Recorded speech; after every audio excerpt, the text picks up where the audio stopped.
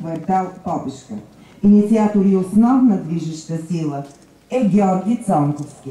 Сдружението се регистрира в съда със свой устав и започва активна дейност за популяризиране на идеята и събиране на самишленици за изграждането на паметника. 37 жители на квартала правят подписка подкрепа на дейността на Сдружението. Доставено е и 37 мм уредие образец 37 година с помощта на Минко Цонковски. Всичко приключва със смъртта на Георги Цонковски през 2012 година.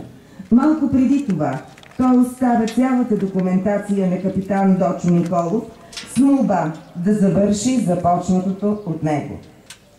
През 2014 година капитан Николов от името на Национално дружество Традиция, регионален клон 34-ти пехотен троянски полк Априлци Троян и с подкрепата на Съюза на офицерите и сержантите от запаса и резерва Троян, кандидатства за отпускане на финансова помощ от комитета по честване 100 години от включването на България в Първата световна война под патронажа на министъра на отбраната.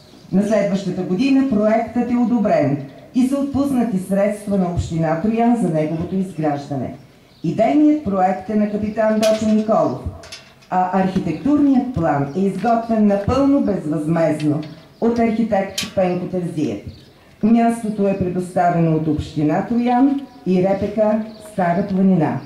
Самите строителни дейности са изпълнени от Общинско предприятие Комунални услуги Троян. За изграждането на паметника неоценима помощ оказаха още. Госпожа Поля Димова, заместник кмет на община Троян, Елеонора Авджиева, директор на музея на художествените занаяти, Елена Вълчева, главен експерт в отдел култура на общината, Стефан и Радостина Йонкови, госпожа Диляна Дикова, Мая и капитан Георги Моновски, както и Национално дружество Традиция Троян и Априлци. На всички тях искрена благодарност. Позволете ми да представя гостите на днешното тържество. Министърът на отбраната на Република България господин Николай Ненчев. Негово високо преосвещенство Ловчанския митрополит Гавриил. Госпожа Донка Михайлова, кмет на община Троян. Народният представител господин Иван Миховски.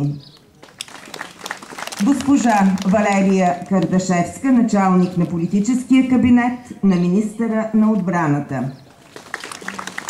Областният управител на област Словеч, госпожа Ирина Митева. Председателя на Общински съвет Троян, господин Николай Тодоров. Ставрофорен свещено-иконом Марин Бошков, архирейски наместник на Троянската духовна околия. Поля Димова, заместник кмет на община Троян, Антон Ластърджиев, директор дирекция управление на човешките ресурси в Министерството на отбраната, Иво Антонов, директор дирекция социална политика в Министерството, полковник Румен Димитров, началник на военно-географска служба, полковник Лъчезар Марковски, началник на военен географски център, Офицер от резерва подполковник Тотио Ангелов, председател на Съюза на офицерите и сержантите от запаса и резерва Троян. Господин Румен Тодоров, председател на Съюза на ветераните от войните Троян. Госпожа Ганка Христова, председател на Дружество Военно инвалид и военно пострадали Троян. А сега ще поканя господин министъра на отбраната на Република България, господин Николай Ненчев и кмета на община Троян, госпожа Донка Михайлова, да открият паметника на загиналите във войните на България